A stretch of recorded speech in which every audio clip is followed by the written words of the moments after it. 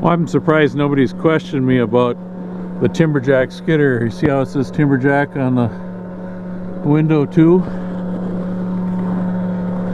That's an 848H. How does that happen? Well, you'll notice that it the green is a little different color and it's got a yellow grill.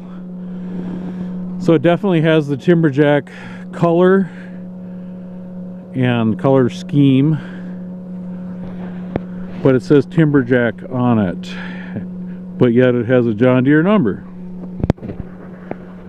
John Deere bought out Timberjack back in I think it was around 2000 2001 and Dean I think it it just about made you cry because it was like Chevy buying out Ford for you. So it was quite a quite a thing that happened. But I gotta tell you the story behind I guess the story is that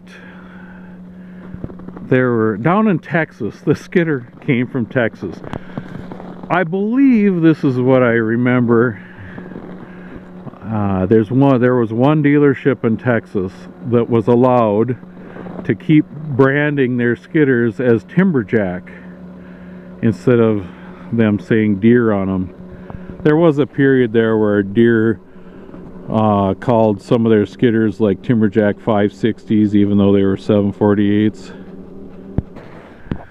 So yeah, that's why it's called a Timberjack because Deere let them one dealership down in Texas because nobody down in Texas would buy a Deere, but they but they'd buy a timber a Deere with a timberjack name on it kind of crazy kind of foolish and uh, I should tell you the story how we came across this.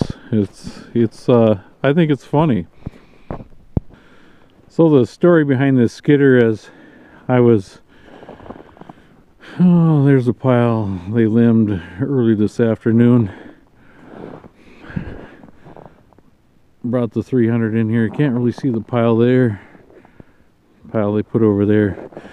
Anyway, back to the skidder. I I got a phone call from my equipment broker and he was wondering if I had anything to or we had anything to sell or we were looking for anything and I I said not really but maybe a skidder if you come across a good buy on a skidder and he rattled off some 748 that had a lot of hours on it and I said wow that's it's not really something we're interested in. And he said, well, you're you're probably not interested in this skidder that just I just uh, found out about this morning. A skidder down in Texas, an 848H, but it's just about new. Well, I don't think you're interested in that. I said, well, tell me about it. And he, he said it was two years old with 1,500 hours on it. And uh, he told me about what they were asking for it. And so I, I got pretty interested in it. I talked to Dean and Jeff about it.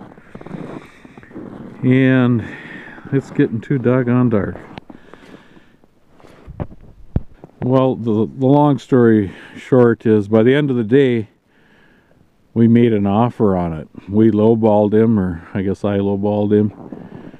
And they agreed to meet in the middle and then I talked him into paying for the shipping from Texas.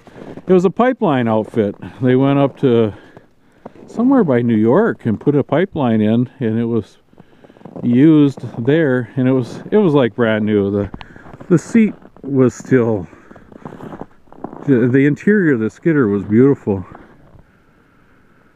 Oh, I don't know where I'm going with this. I, I, this is the funny part of the story is so we it, it, all happened so fast and I if anybody that knows me knows that I don't I'm not impulsive. And but this all happened fast and and uh, called the bank told them to transfer or wire the money down to this guy and then all of a sudden I got panicky.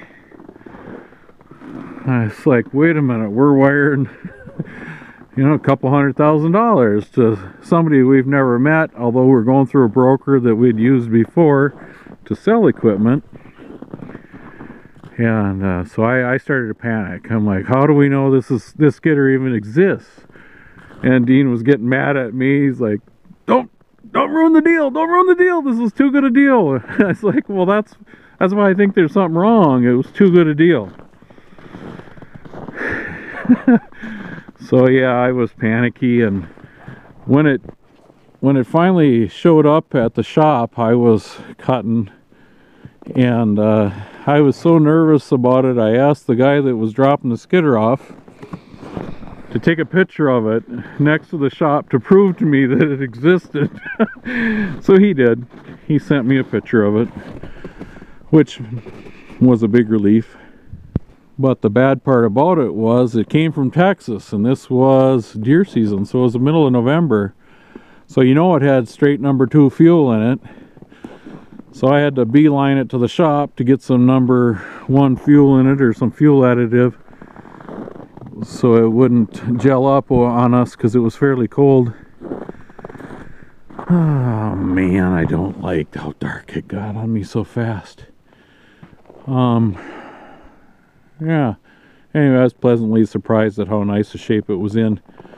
Uh, we had we had a heck of a time with it starting though when we first got it. Couldn't figure out what was wrong, and then come to find out it didn't have a hydraulic dump on it when you're cranking.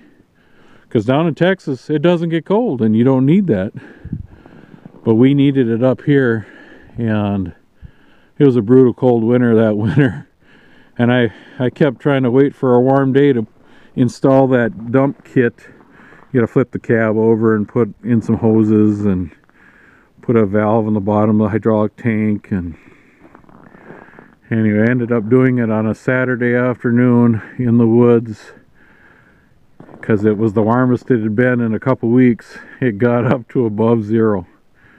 And I Garrett and I worked on it for a few hours. We got it in and it's a great starting machine ever since. Well anyway that was a lot better story in my head. Hope you enjoyed it. Thanks for watching. Thanks for all the new subscribers. Have a great day